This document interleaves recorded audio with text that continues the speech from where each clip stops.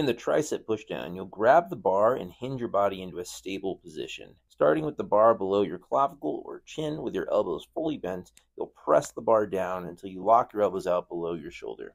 Be sure to keep your body in a stable position, keeping your shoulder blades packed backwards and your chest out. Each rep, be sure to use only your triceps to press down, locking out below your shoulder so it's stable, and milk every rep with a slow eccentric trying to bend your elbows as much as you can. You can either keep your elbows still or let them move slightly backward. Be sure to keep your shoulders stable and use no momentum to protect your elbows.